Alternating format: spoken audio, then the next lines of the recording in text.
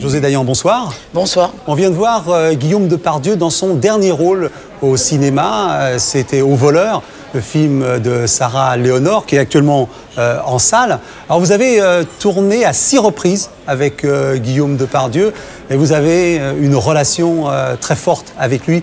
Et c'est de ça dont vous allez nous parler ce soir. Mais d'abord, je voudrais vous présenter. On vous connaît bien, mais tout de même, vous êtes scénariste et réalisatrice qu'on dit féconde et à succès, aussi bien euh, à la télévision euh, qu'au cinéma. À la télévision, je citerai que Les Rois Maudits, hum, quand même, Les Misérables, et euh, Le Comte de Monte Cristo, dans lequel vous avez quand même réalisé une performance du genre de 12 millions de téléspectateurs. Voilà, alors on, on a envie que vous nous parliez de cette passion que vous avez pour Guillaume Depardieu, dont je présume qu'elle est différente de celle que vous avez pour son père, Gérard Depardieu. Donc je vous laisse nous, parler euh, de Guillaume Depardieu, José Dayan. Oui, bien évidemment, euh, tout- toutes les passions sont différentes parce qu'elles sont euh, générées par, le, par ce qu'inspire la personne en face. C'est comme un émetteur-récepteur, si vous voulez. Et c'est vrai que Guillaume Depardieu, euh, c'était, enfin, j'ai même envie d'en parler au présent, c'est quelqu'un de magnifique. Ça a été une rencontre pour moi absolument bouleversante parce que il est arrivé justement euh, dans Monte Cristo, c'était donc en 98, ça fait maintenant 11 ans. Et il était d'une beauté euh, fracassante, il était blond, grand, euh, avec une espèce d'aura absolue, beaucoup d'humour et à la fois beaucoup d'humilité. Et c'était très court ce qu'il avait à faire dans Monte Cristo, puisqu'il interprétait Edmond Dantès jeune dans les flashbacks. Et tout de suite après, euh, enfin deux ans après, j'ai fait un film qui s'appelle Zaïd pour Canal avec Jeanne Moreau et j'ai fait écrire un rôle pour Guillaume. Et il était pratiquement tout le temps dans le film. Et c'est là vraiment que notre, euh, notre collaboration, notre amitié euh, a pris forme, si vous voulez. Guillaume, c'est un acteur unique parce qu'il était jamais là où on l'attendait. Et contrairement à l'image un peu de, de mauvais garçon euh, qui traînait un peu derrière lui, c'était, en tout cas, moi, la personne la plus gentille, je dis bien gentille, que j'ai rencontrée. Et alors après, évidemment, il a eu cet accident euh, qui a été euh, une espèce de, de début, euh, qui, a ench- qui a enchaîné avec ce- cette amputation de sa jambe, etc. Et Cet accident, c'est un accident de moto, quoi. un accident de moto. Une valise qui part comme qu'il ça. a eu curieusement euh, le soir de mon anniversaire, je m'en souviens, parce qu'on devait passer l'anniversaire ensemble et on était avec euh, Elisabeth, sa mère, et, et Julie et Nicole. Et euh, il a téléphoné en disant qu'il était retenu à une fête de fin de film. Et sur le coup de 2h du matin, Elisabeth nous a appelé en disant qu'il avait un accident sous le tunnel de, qui allait à Bougival. Mmh, et c'est vrai que c'est là que les choses ont commencé à aller mal pour lui, je dirais, avec cette jambe.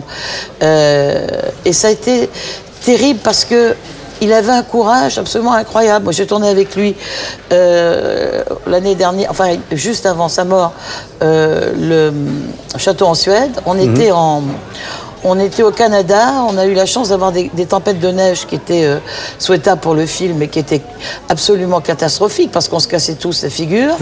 Et donc je voulais que quelqu'un l'aide. Et il voulait pas du tout. Il disait non, non, non, euh, je vais me débrouiller tout seul. Et jamais, euh, je pense qu'il souffrait physiquement, et jamais nous, on a subi ça sur un tournage. Je pense qu'il va prendre peur vite maintenant. C'est le moment que je préfère. Quand la peur commence. Fais douter. Hugo les regarde fixement. Tu vas pas revenir en arrière maintenant. Il faudrait revenir à, ce qu'était Guillaume Depardieu. Il était d'abord, pour tout le monde au départ, euh, le fils de Gérard Depardieu. Et c'était pas facile à porter ce nom d'ailleurs. Il avait un rapport avec son père difficile et son père n'a peut-être pas été euh, le père euh, dont il aurait rêvé. Mais ça, je ne sais pas euh, ce qu'a été son père euh, pour lui. Ce que je sais, c'est que Guillaume était quelqu'un d'une sensibilité extrême et qu'il avait vraiment besoin de manifestations d'affection, si vous voulez. Et, et c'est vrai que Gérard, euh, quand il a eu Guillaume, Gérard était très jeune. Il était euh, au début d'une carrière euh, qu'on connaît, qui est époustouflante. Et c'est vrai qu'un acteur qui, qui démarre sa carrière avec tant de succès euh, doit être assez happé par, euh, par son métier. Et peut-être qu'il n'était pas assez présent au- comme, comme Guillaume l'aurait souhaité. Mm. Et même, il, il avait un rapport difficile. Il disait du, du métier de son père, c'est un métier de merde. Oui, mais ça, c'était un peu de la provocation. Il était assez provocateur, Guillaume. Mm. Mais alors, à la fois, il adorait ce métier. Je pense pas. Si vous voulez, il voulait pas forcément être acteur, Guillaume, parce qu'il était tellement doué pour tout. Mm. Qu'il aurait pu être. D'ailleurs, il a écrit des chansons magnifiques. Il jouait du piano magnifiquement. Il dessinait. euh, il avait envie de réaliser un Il film. chantait. Il avait une. Il chantait très bien. Il avait envie de réaliser un film. Je crois que c'est un artiste avant tout. Alors il s'est, buté euh, contre le mur de la drogue, la petite délinquance. D'ailleurs c'est assez étrange parce que dans son dernier film, il, joue le rôle euh, d'un petit délinquant en fait. Oui, mais c'est ça qui est un petit peu dommage, c'est que finalement le cinéma français n'a pas beaucoup d'imagination et que les derniers films qu'il a fait, c'était soit un SDF, soit un délinquant, soit un drogué, etc., etc. Qu'est-ce que tu fais avec ta voiture ici? De quoi? Qu'est-ce que tu fais avec ta voiture ici? Ça t'amuse, hein? Ouais, ça m'amuse, ouais.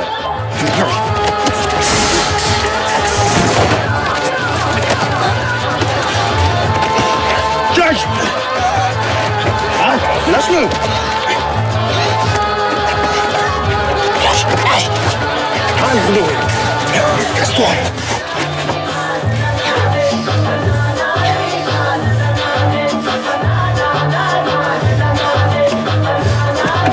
Tu rentres chez toi. Pas mon père. Pouvait jouer les aristocrates, il pouvait jouer dans une comédie. D'ailleurs, les premiers films qu'il a fait euh, avec Salvadori, euh, c'était formidable, une drôlerie extrême. À la fois, il pouvait être drôle, grave, profond, euh, désespéré.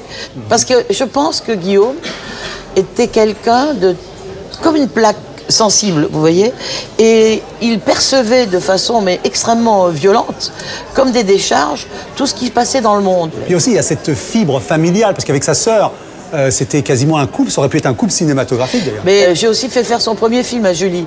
Mais euh, quand moi j'ai connu Guillaume, donc à l'époque de, de Monte Cristo, et que j'ai passé des moments de vacances chez eux euh, à Trouville, et que Guillaume et Julie étaient au piano, etc. C'était absolument magnifique. Et je voulais faire avec eux Les Enfants Terribles de Cocteau, parce que oui. je pense que ça a été formidable aussi. Hélas, voilà. Alors, on a parlé tout à l'heure de tout ce qui a pu briser sa carrière. À chaque moment, on croyait qu'il s'en sortait. Et franchement, l'héroïne, parce qu'il est allé très très profond euh, euh, dans l'héroïne. Ça, je ne sais pas. Je sais, je suppose qu'il est allé, mais on n'en parlait jamais. Il se confiait à vous? Oui, mais on n'a jamais parlé d'héroïne avec lui. Oui. Il Jamais. parlait de, quoi, de, de cinéma, de théâtre? De cinéma, de la vie, Mhm. tout simplement. Oui, vous savez, euh, on avait tourné ensemble euh, Les Rois Maudits, euh, donc en Roumanie, à Bucarest. Et le dernier film qu'il a tourné, c'était en Roumanie. Oui, c'est vrai.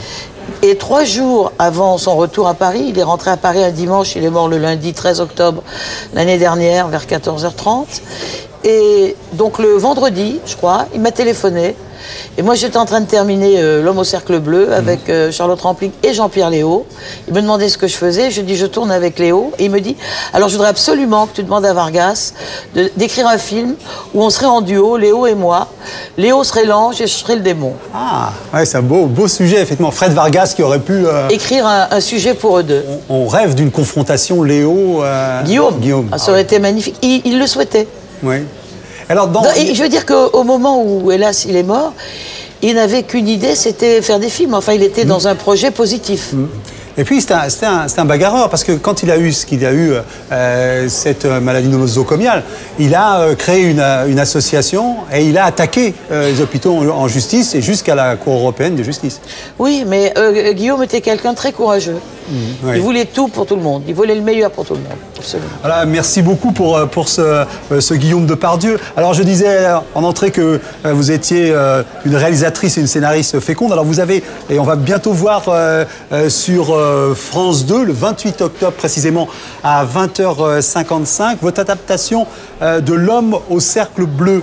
euh, le, le roman euh, de Fred Vargas, euh, dans laquelle, vous l'avez dit, euh, Léo et euh, Charlotte Rampling. Et puis évidemment, les personnages habituels, euh, c'est-à-dire Jean-Hugues Anglade, Dans- Jacques Spiesser, Hélène Filière. Et je trouve ça assez symbolique que euh, vous ayez tourné L'homme au cercle bleu parce que je trouve que c'est un titre euh, qui euh, irait très bien à Guillaume Depardieu. C'est vrai. Il aurait été magnifique là-dedans aussi. Voilà. Voilà, merci beaucoup. euh, Merci José. à vous.